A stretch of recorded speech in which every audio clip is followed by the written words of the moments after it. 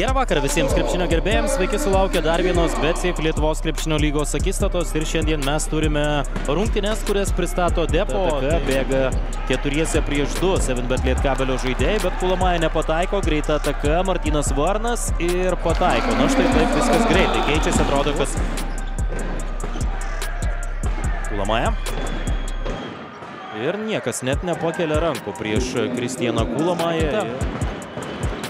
Urbutis, geras įkirtimas ir taškai krepšyje pataiko Martynas Varnas. Naudingumo balų kol kas, bet labai geri atsiliepimai iš komandos apie šį krepšininką. O čia 2 plus 1. Nikola Pomurauskas prieš du varžovus, pagalba Martynui Varnui, nebloga iš Danusevičiaus, greita ataka ir Baslykas kabina. Ir Jonas Orė, dėl jo pakovoja. Jacksonas vienas prieš vieną, Pekovičiaus užtvarą, du prieš du ir Radoslavas Pekovičius 33-28.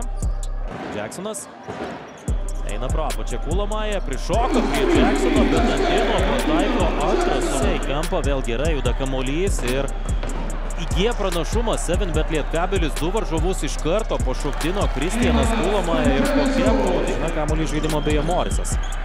10 sekundžių atakai buvo likę klaida panevežiečių žaidime ir čia Martynas Varnas jo dėjimas iš viršaus. Į žaidimą Stankevičius, vienas prieš vieną, perdimas į kampą Varnui, Varnas nusimeta kamuolį Jacksonui, Jacksono metimas iš toli pasiekė tikslą.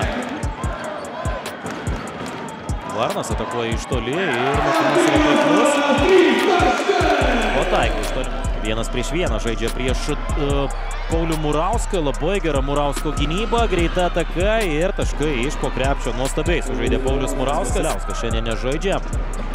Jacksonas, jo perdavimas Tankievičius spėja išmesti kamuolį ir pataiko Eimantas Tankievičius tritaškį. Žaidžia vienas prieš vieną prieš Jacksoną.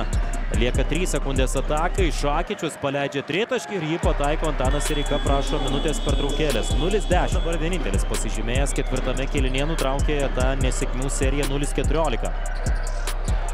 O čia vis tiek. Polime laiko pabaigos, Džemelas Morisas imituoja užtvarą Tenorelikas, pikiant popo nėra, yra Golomano prasiveržimas komandai greitos. Atakos.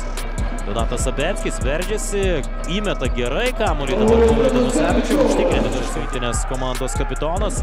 80-89, toks yra galutinis rezultatas šiame moče. Tęsia kova dėl trečios pozicijos.